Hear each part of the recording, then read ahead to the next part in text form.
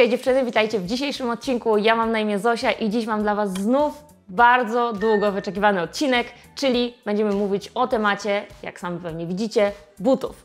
Temat butów to najważniejszy temat w stylizacjach. Jak wiecie, dobrze dobrane buty sprawiają, że stylizacja staje się bardziej charakterna, bardziej w naszym stylu. Są one kluczowym elementem wielu z naszych stylizacji, a te na jesień często przysparzają różne wyzwania, jakie wybrać, żeby były wygodne, jakie będą pasować do sukienek, jakie do spódnic, jakie do eleganckich cygaretek, ale te odpowiedzi znajdziecie w dzisiejszym odcinku, więc nie przedłużam, zaczynamy.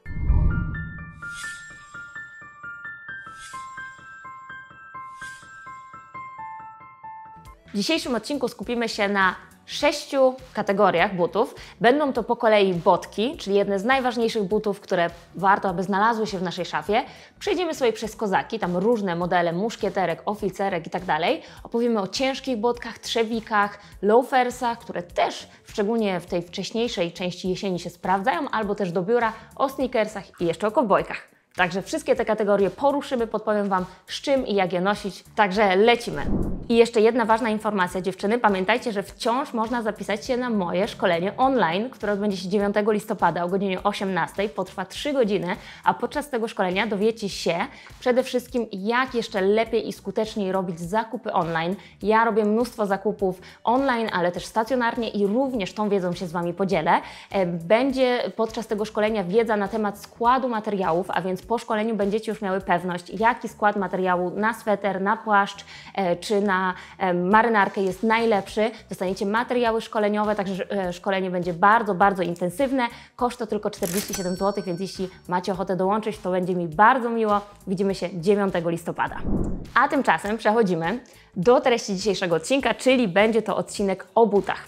E, zacznijmy od pierwszej kategorii, czyli kategorii botków. To są buty, które dziewczyny chyba są takim must have w szafie, mogłabym to powiedzieć. To są takie buty, które zawsze mm, jakby pasują do największej liczby stylizacji i są taką podstawą. Jak ma, chcemy mieć jedne buty, które będą najbardziej uniwersalne, bo o to bardzo pytałyście w y, komentarzach, no to właśnie będą to botki. E, botki różnią się na przykład od sztybletów czy od trzewików, co za chwilę zobaczycie mocno. E, botki to są buty, które przede wszystkim dziewczyny pasują właśnie do sukienek, czasami też do spódnic, jeśli mają odpowiedni krój.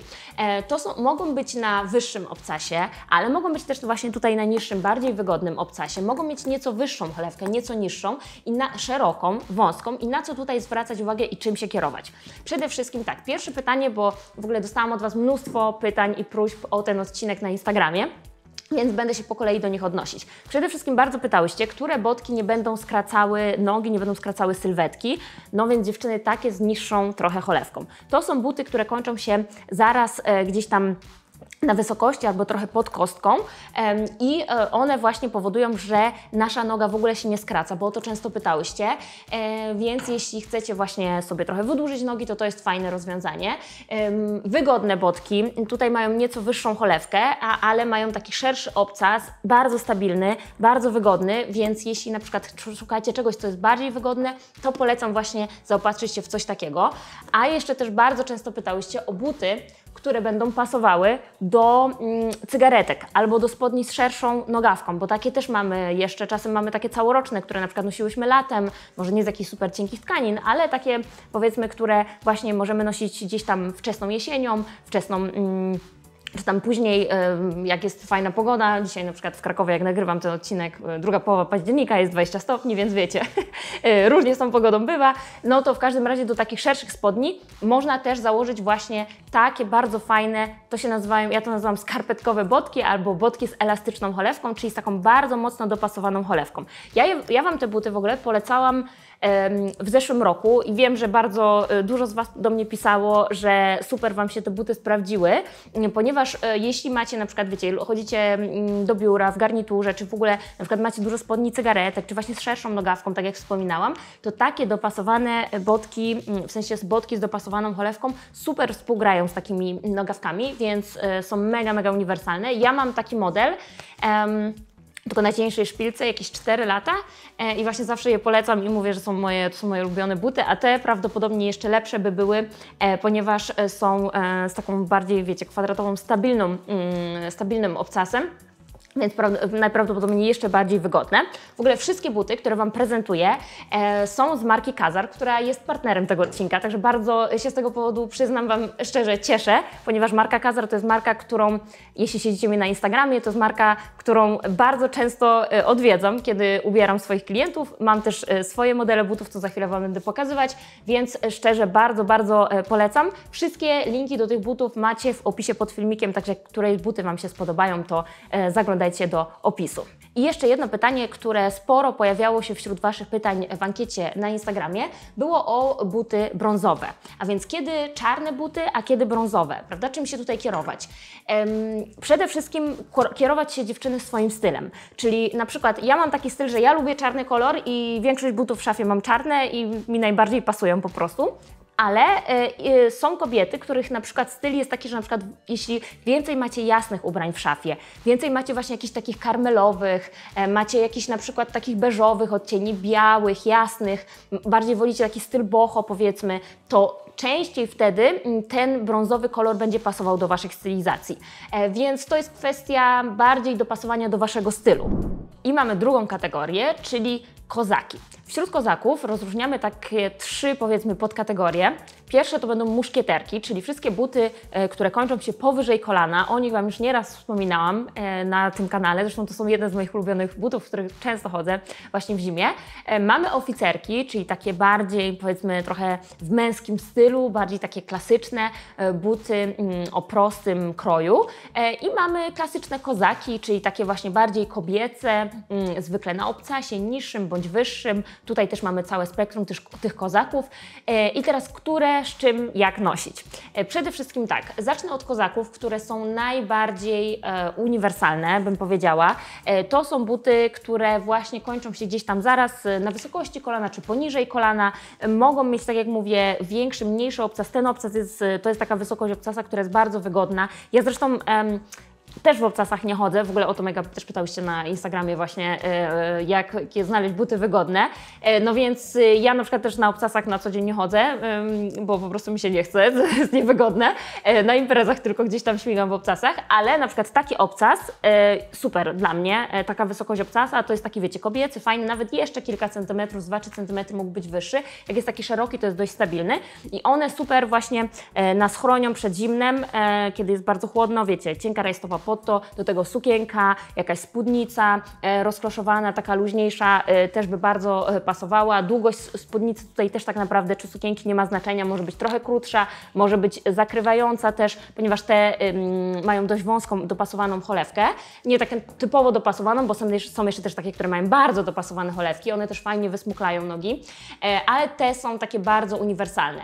Następne buty, jakie mamy, te oficerki, te akurat są takie oficerki z wysoką bardzo cholewką, są też takie oficerki poniżej kolana, więc to są takie, powiedziałabym, oficerką muszkieterki. więc y, to są buty, które tak naprawdę najlepiej wyglądają, te oficerki, y, do spodni. Y, czyli jak mamy jakieś po prostu spodnie, no to one tak fajnie współgrają z nimi, no bo te, jak widzicie, są dużo bardziej kobiece, więc one bardziej pasują do sukienek, a te fajniej wyglądają ze spodniami. Tu już co do spodni kroju, to już różne. Mogą być trochę luźniejsze, mogą być jakieś bojówki, mogą być jakieś um, rurki, tak, w zależności od tego, co lubicie. Mm, jeśli jeansy, to raczej chyba dopasowane ale to też zależy od kroju, wiecie, jak to w modzie. Natomiast te są bardzo takie uniwersalne do spodni. Mamy też takie kozaki, które są, wiecie, już bardziej modowe, jak na przykład te, mega ładne, z taką szeroką cholewką. Jak już mamy, wiecie, w swojej szafie takie klasyki i chcemy coś bardziej takiego mm, ekstrawaganckiego, stylowego, te bardzo, bardzo mi się podobają. E, nie wiem, czy sobie ich nie zostawię, bo mi się mega podobają. E, naprawdę takie, takie, wiecie, podkreślające też kobiecość i też do różnych na przykład krótszych spódnic, ale też dziewczyny E, to są fajne buty do, no mówię, do sukienek, e, nawet takich, wiecie, trzy czwarte, które mamy gdzieś tam nawet z lata, tak? Takie e, w kwiaty, jakieś bardziej kobiece, to też jak najbardziej będą pasować. W dłuższych płaszczy to to jest też super model. Także tak, tu mamy te buty typu mm, właśnie kozaki i przechodzimy do kolejnej kategorii, którą warto mieć w szafie, czyli e, dziewczyny nic innego jak kowbojki. To są buty takie na wzór właśnie kowbojski. Mm, Mega popularne teraz, właściwie już wpisujące się w klasykę, e, też w zależności od naszego stylu. Ja Wam powiem, że na przykład ja w ogóle nie chodzę w kowbojkach i chyba nie czuję tego stylu dla siebie, aczkolwiek ubierając swoje klientki, bardzo często ten model kupuję, ponieważ też, e, tak jak na przykład te e, są na płaskim obcasie albo są tak minimalnie podwyższone, bardzo praktyczne do jeansów. Super ten brąz będzie właśnie współgrał z mm, ciemnym jeansem. Em, To są też buty, które, model butów, który pasuje do sukienek, więc też jest mega pod tym względem. E, A, i częste kolejne pytanie, które zadałyście mi w ankiecie na Instagramie, e, jaka wysokość, e, to już trochę mówiłam o tym, jaka wysokość tej cholewki skraca, prawda? Mówiłam Wam, że im niżej, tym mniej skraca, ale Przede wszystkim generalnie się jakoś bardzo tymi cholewkami e, nie przejmujcie, bo czasami uważam, że kobiety za bardzo zwracają uwagę na tę wysokość, nie wiem, centymetr w tą czy w tą. E, jedyna długość, która jest powiedzmy najbardziej ryzykowna, to jest właśnie wysokość, sorry, cholewki, to jest właśnie ta. Czyli to jest taka połowa łydki, gdzie jest ten najszerszy punkt w naszej łydce i mm, ta wysokość najbardziej skraca, tak? Więc co to oznacza? Czyli jeżeli jesteś dziewczyną, która nie chce się optycznie skrócić, to wtedy po prostu wybierz trochę niższą cholewkę, mm, albo całkiem wysoką, bo wcale nie jest powiedziane, że kozaki, właśnie tego nie powiedziałam, ale kozaki dziewczyny wyższe, co często dostaję też pytanie, są jak najbardziej dla niskich dziewczyn. Ja nie widzę żadnych przeciwwskazań, żeby niskie dziewczyny nie mogły nosić wysokich kozaków, w sensie wysokich ponad kolana albo e, tych takich po prostu zaraz poniżej kolana. Mm, Tutaj bardziej kluczowy jest dobór stylizacji do tego, czyli, czyli jaką długość dobierzemy sukienki, spódnicy, żeby to fajnie współgrało, mm, styl tej sukienki czy spódnicy, żeby ładnie się komponował z tym, jak ona się będzie układać razem. Natomiast e, wysokość nie ma w ogóle wpływu na Wasz wzrost. Także tutaj e, obalam absolutnie ten mit. Możecie w takich chodzić. Mm, Jeśli fajnie na Was leżą, to to jest jak najbardziej ok. Natomiast, tak jak mówię, ta wysokość, czyli połowa łydki, jest najbardziej ryzykowną e, wysokością i ona najbardziej skraca. W związku z czym, znów, jeśli jesteś dziewczyną, która jest wysoka, a o to też często pisałyście, jakie się ubierać, że jesteście wysokie, albo jesteś dziewczyną, która ma bardzo długie nogi, to dziewczyny, ten model wygląda na Was świetnie. Więc jeśli lubicie taki styl, to myślę, że to będą botki, które bardzo Wam posłużą. Tutaj mamy też jasne kolory i też o to pytałyście, jakie jasne kolory, jakby do jakich stylizacji jasne kolory. To, co Wam mówiłam w, yy, w odcinku, dwa odcinki wstecz, jak jeszcze go nie widziałyście, to koniecznie zobaczcie, o e, doborze kolorów, to właśnie jasne buty najczęściej, najfajniej komponują się z jasnymi stylizacjami. Tak, czyli jeżeli ubierzecie się całe na czarno i dacie jasny but, to rzadko kiedy to dobrze wygląda. To naprawdę trzeba jakoś super ograć modowo. E, Ale tak e, najczęściej te buty fajnie wyglądają dają z jasnymi ubraniami, e, z jasnymi stylizacjami, ale też na przykład wiecie, mm, nie jest powiedziane, że na przykład takie buty mogłyby fajnie wyglądać do jasnych, cielistych rajstop i na przykład jakiejś, nie wiem, zielonej sukienki w kwiaty, tak? Albo jakiejś, nie wiem, em, pomarańczowej sukienki, tak czy tak, mam na myśli jakiejś brzoskwiniowej sukienki w kwiaty, tak? Takiej sty, takiego stylu boho. Więc to w szczególności, jeśli lubicie taki styl właśnie boho, sukienki, tak? to e, taki model butów na pewno bardzo Wam się przyda i to są też buty, które można jak najbardziej znaleźć wygodne, bo one nie muszą mieć wysokiego obcasa, a nawet jeśli jest czasem wyższy, jak jest dobrze wyprofilowany but, to będzie Wam w nim również wygodnie. Jeszcze tylko dodam, że to jest model butów, który mm, najtrudniej będzie z takimi eleganckimi rzeczami łączyć, prawda? Czyli właśnie chyba dlatego ja go nie mam w swojej szafie, bo ja lubię albo styl taki uliczny, albo styl y, elegancki, taki jest mój styl.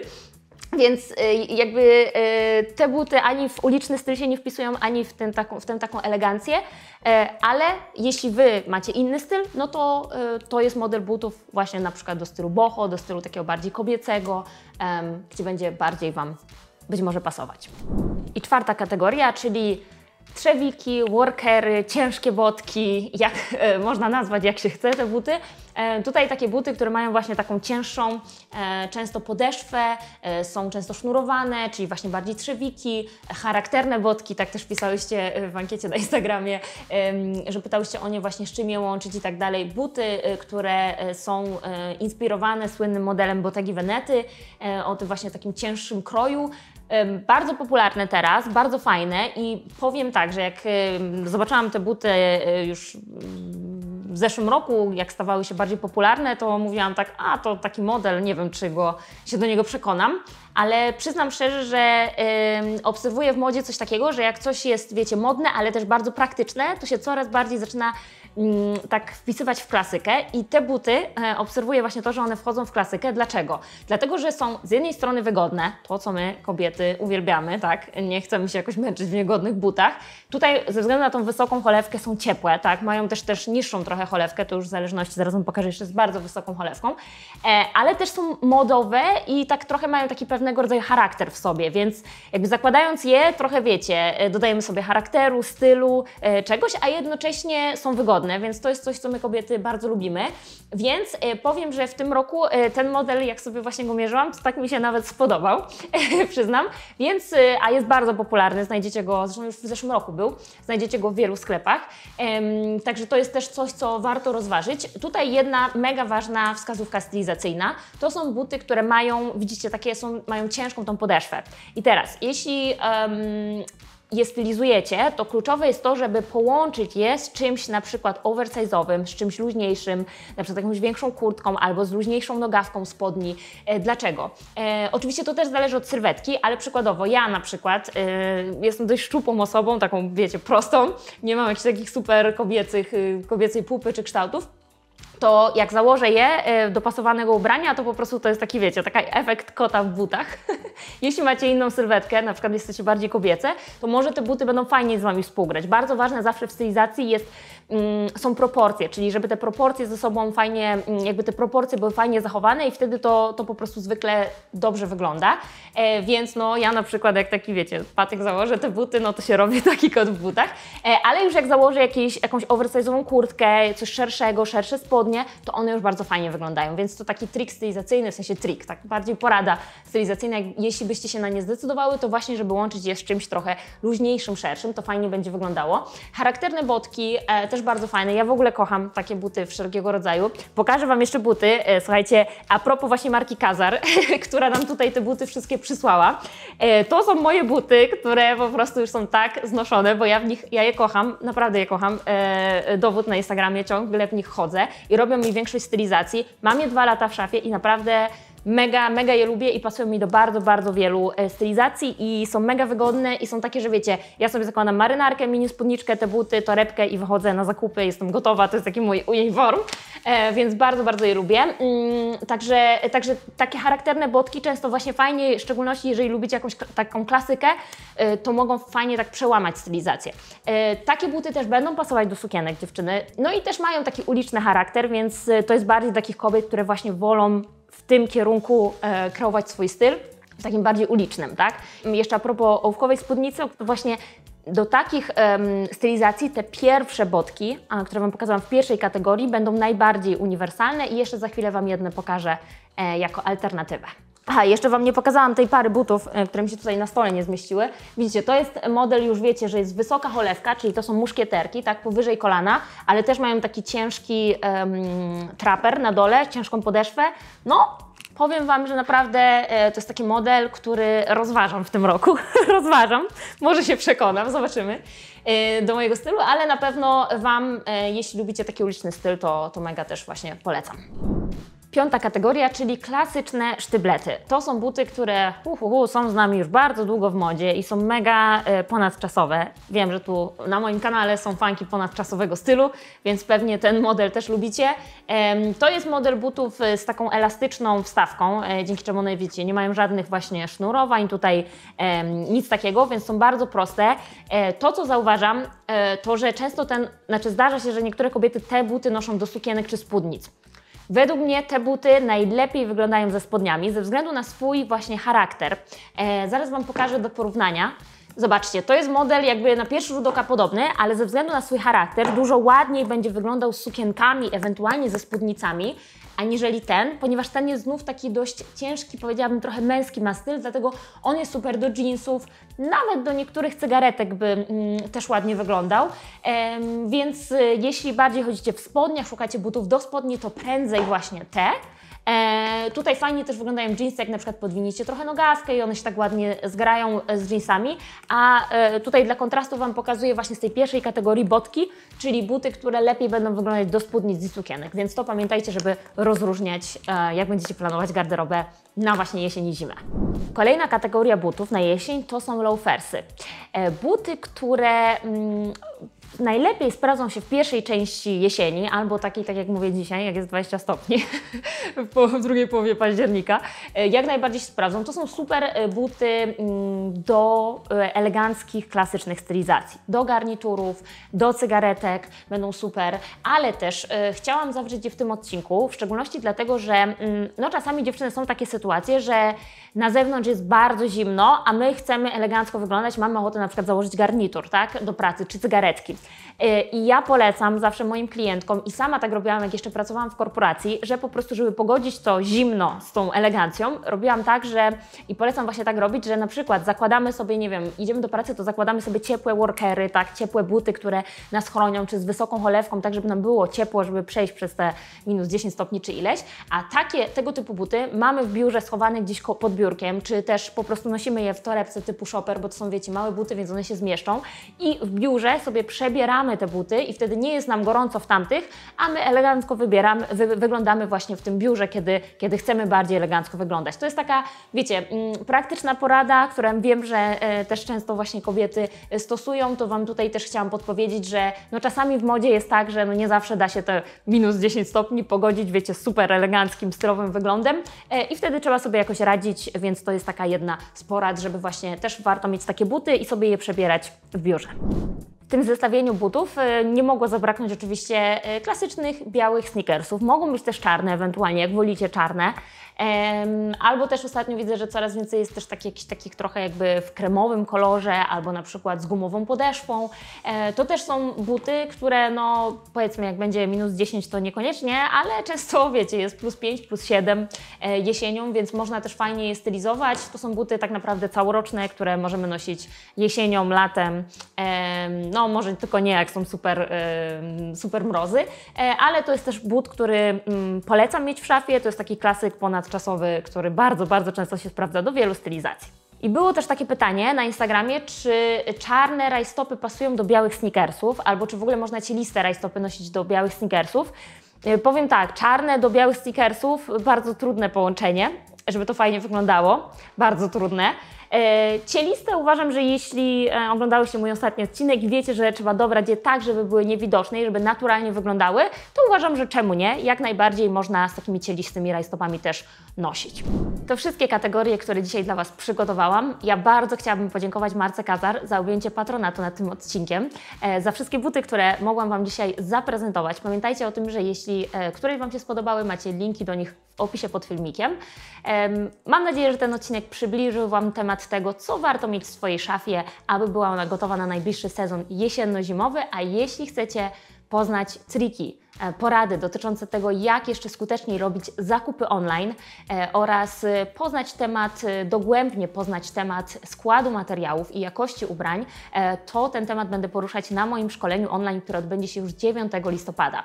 To szkolenie kosztuje 47 zł, link macie do niego w opisie pod filmikiem, także Was do niego serdecznie zapraszam. A my tymczasem widzimy się już w kolejnym odcinku. Jeśli macie jakieś do mnie pytania, to oczywiście zostawcie je w komentarzu, zostawcie mi łapkę w górę, subskrybujcie kanał, będzie mi bardzo miło i do zobaczenia już wkrótce.